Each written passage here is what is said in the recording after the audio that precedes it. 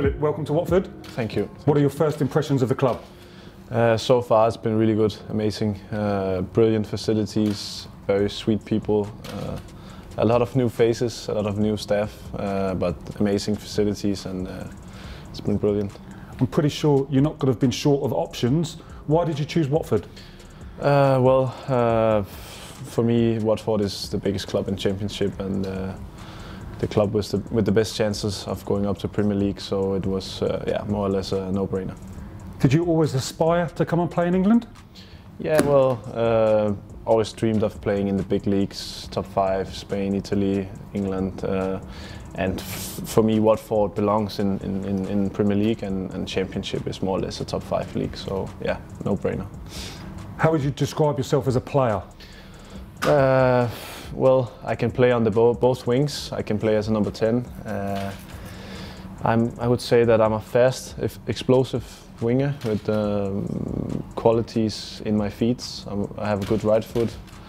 Uh, I'm pretty decent with the left one. Uh, likes to dribble, but also likes to cross. So uh, a little bit of everything, but but mainly attacking part of the game. If you had to pick one position, if, if the coach said you, pick me one position, Philip, what, what would you say? Uh, that's difficult.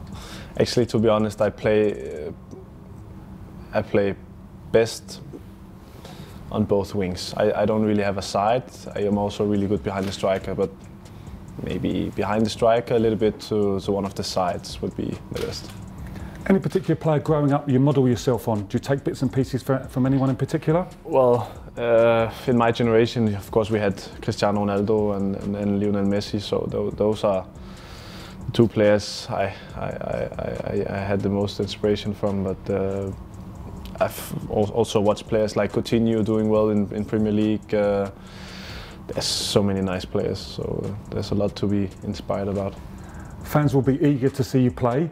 Are you ready to play? Are, are you fit?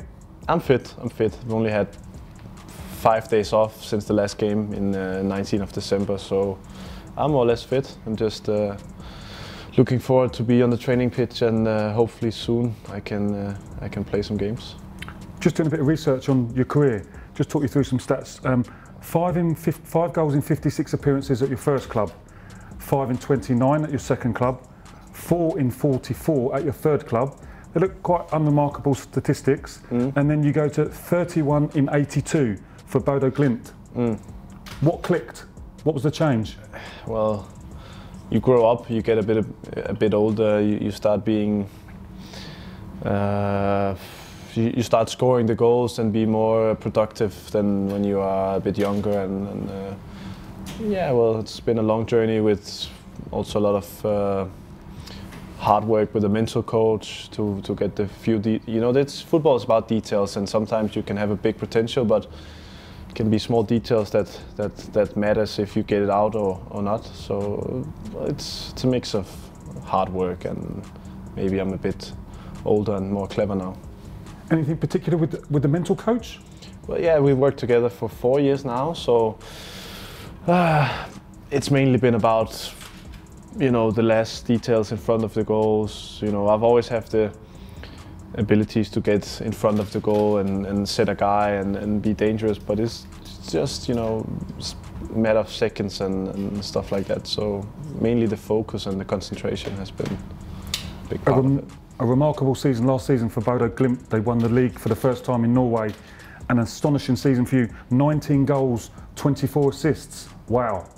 Yeah, well, yeah, it's been an unbelievable season actually. As you said, uh, first championship for a no- North Norwegian club, which is really big for, for this club who is in the north of Norway. So um, yeah, and we broke so many records. So it's been uh, amazing.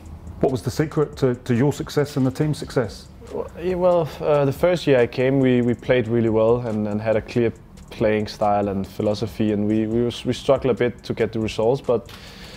I think the key is that the, the coaches and the team and, and, and, the, and the club kept that philosophy and just kept on going and, and, and developed and developed. And then second year we got the silvers, second place, and then third year now we just yeah destroyed the league. So hard work and and also uh, you know if if things doesn't go as planned, you know, it's easy to just change and do new stuff. But in this club, we just stayed and, and, and worked on the details, and then yeah, third year was amazing. Capped for your country, Denmark, at under 18 and under 20 level. Mhm. Do you have inter- full international um, honours and, and ambitions?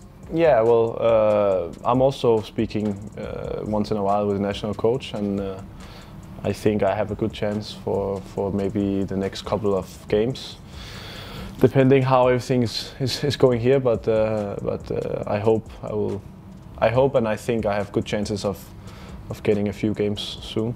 Lots of players from your country here. Um, Andreas Christensen, Vestergaard, Højbjerg, Kasper Schmeichel. There's two lads at, at Brentford, Dalsgaard and, and Jensen. There's even more, I think, three, Even- four guys there. But, uh, Do you know any of these guys? Have, have you spoken to any guys? uh, the guys from Brentford uh, are from the same academy.